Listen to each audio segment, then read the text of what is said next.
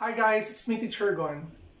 In our today's video, we will talk about converting degree to radian and radian to degree. So this one is a quick tutorial for those students na nagtitake ng STEM, lalo-lalo ang subject nyo ay pre-calculus.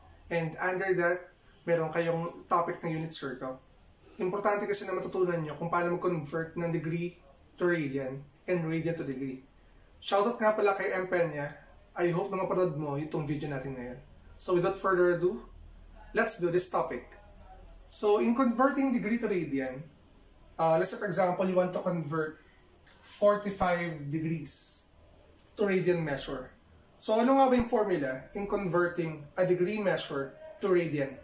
Simply, you have the formula degree, your degree angle, times pi over 180 degrees.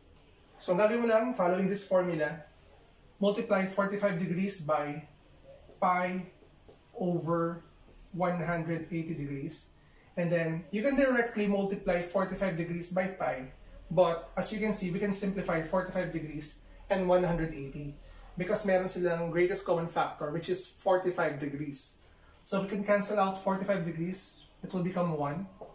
And then for 180, there are four 45 degree angles here. So you have four. And then multiplying the numbers 1 times pi, it will give you pi and then 4 as your denominator. Ibig sabihin, pi over 4 is equivalent to 45 degrees. Ganyan yung ating conversion. So let's move on with the next example. Our next example will be 120 degrees to radian. So ayusin na natin sulat natin. We have 100 120 degrees to radian. So simplifying or following this pattern, degree times pi over 180 degrees. So 120 degrees times pi over 180 degrees. And as you can see, you can simplify 120 and 180. Meron silang greatest common factor which is 60. So we can have 260 degrees here so 120. And for 180, meron tayong tatlong 60 degrees. So multiplying the numbers, the remaining numbers, 2 times pi, you have 2 pi over 3. Ito ngayon yung value ng 120 degree angle in radian. Okay? So, paano ngayon, sir, pag convert naman tayo ng radian to degree? Ano yung formula natin? So, gagawin nyo lang naman, you have the formula radian times 180 degrees over pi. So, as you can see, parang yung reciprocal lang nito ang ginagamit natin. Isipin nyo lang kung ano yung kailangan nyo tanggalin.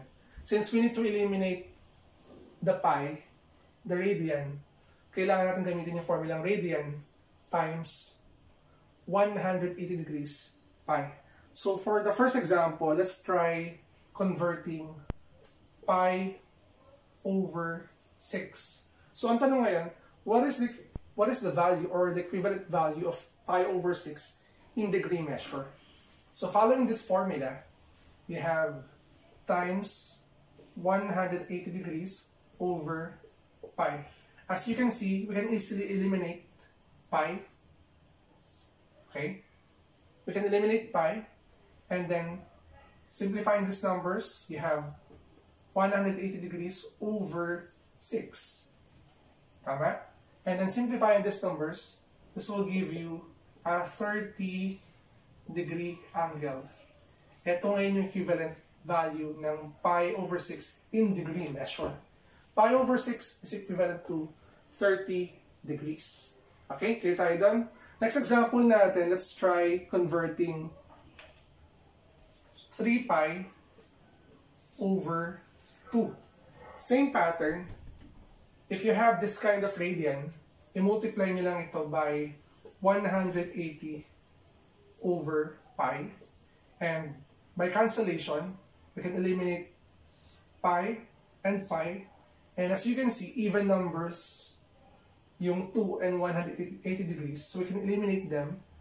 Cancel natin to. At itong 180 degrees ay magiging 90 degrees. So multiplying the numbers 3 times 90, it will give you 270 degrees. Ito ngayon yung value ng 3 pi over 2 in degree measure. So, I hope na sa first, sa four examples natin, you already know how to convert a degree to radian and radian to degree. If you have any question or topic na gusto nyo pag-aralan natin within our channel, you can comment down below sa ating description box, sa ating comment section. And I hope na natutunan nyo yung lesson natin on how to convert this kind of thing about pre-calculus. And if you're new to my channel, don't forget to like and subscribe at i-hit na rin yung bell button for you to be updated sa ating mga latest uploads. Again, I'm Teacher Gon. Maraming maraming salamat. Bye-bye!